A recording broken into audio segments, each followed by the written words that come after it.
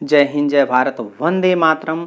आप इस छोटी सी वीडियो के माध्यम से अंतर जनपदीय तबादला में विद्यालय आवंटन में आने वाली विभिन्न विसंगतियों को निम्न नियमानुसार कार्रवाई करने के संबंध में दिशा निर्देश जारी हो चुका है।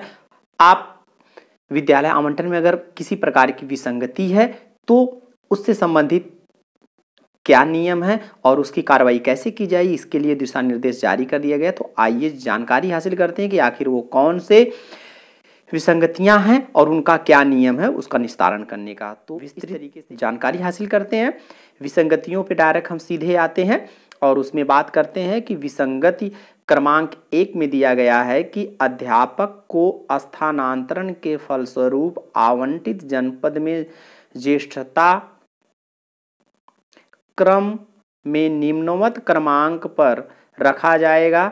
ये अध्यापक स्वेच्छा से अन्य जनपदों में स्थानांतरित होकर जा रहे हैं और पदोन्नत पदोन्नत स्वेच्छा से छोड़ रहे हैं। अतः इन अध्यापकों से इस आशय का शपथ पत्र अनिवार्य रूप से प्राप्त कर लिया जाए कि मैं भली भात अवगत अवगत हूँ कि दूसरे जनपद में स्वेच्छा से स्थानांतरित होकर जा रहा या रही हूँ, अतः पदोन्नत का लाभ मुझे प्राप्त नहीं होगा, तथा उस जनपद में मैं, में जाने पर सहायक अध्यापकों की ज्येष्ठता सूची में मुझे निम्न क्रम में रखा जाएगा और मैं और मैं भविष्य में पदोन्नत पाने के लिए तथा ज्येष्ठता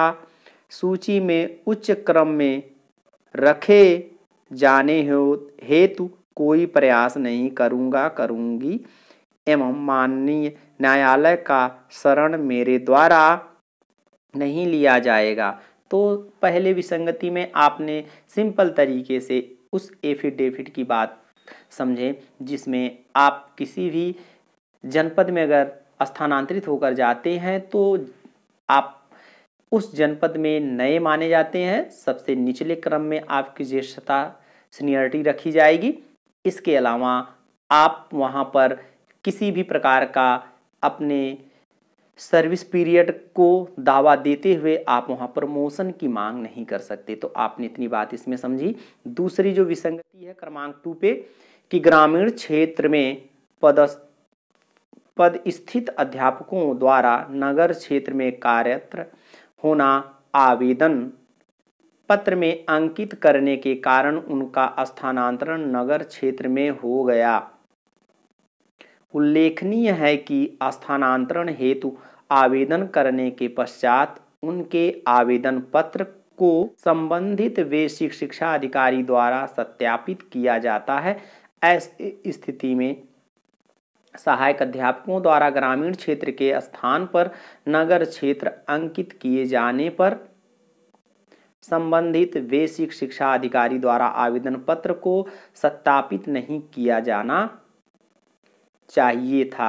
इस संबंध में संबंधित बेसिक शिक्षा अधिकारी से स्पष्टीकरण प्राप्त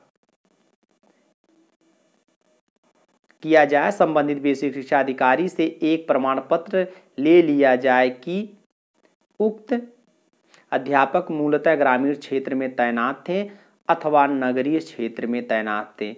उक्त प्रमाण पत्र बेसिक शिक्षा अधिकारी द्वारा दो दिन के भीतर अनिवार्य रूप से उपलब्ध कराया जाएगा। जो अध्यापक मूलतः ग्रामीण क्षेत्र में तैनात थे, वे ग्रामीण क्षेत्र में जाएँगे तथा तथा जो नगरीय क्षेत्र में तैनात थे, उनकी तैनाती स्थानांतरित जनपद के नगरीय क्षेत्र में ही की जाएगी। इस संबंध में बेसिक शिक्षा अधिकारी से प्रमाण पत्र प्राप्त कर आप द्वारा एनआईसी को सूचना उपलब्ध कराई जाएगी। तो इस तरीके से दूसरे में विसंगतियों के क्रमांक में आप सिंपल तरीके से समझ सकते हैं कि अगर आपकी पोस्टिंग गाँव में हुई है, विलेज में हुई है तो आप जब अदर डिस्ट्रिक्ट में ट्रांसफ़र होके जाएँगे तो आपके जो स्कूल का आवंटन होगा, वो वहाँ पर भी विलेज गाँव का ही स्कूल आपको मिलेगा। ठीक इसी तरीके से अगर आप नगरी हैं, अर्थात शहर के टच में हैं, रोड से लगे हुए, इस तरीके का आपके स्कूल है तो आप नगर में आएँगे। जनरली नगर डिसाइड जो है, आपका मुख्यालय से 10 किलोमीटर की दूरी के अनुसार जो है, चुना जाता है। अगर आपका विद्यालय, जो आपका मुख्यालय होता है ज़िला, वहाँ से अगर 10 किलोमीटर के रेंज में है तो वो आपका नगरी मान लिया जाता है। अगर उससे ऊपर है तो ग्रामीण मान लिया जाता है। तो इस तरीके से अगर आप कि जिस तरीके से पोस्टिंग जिस जनपद में प्रेजेंट में रही है, ठीक उसी तरीके से आपको दूसरे जनपद में स्थानांतरित होने के बाद।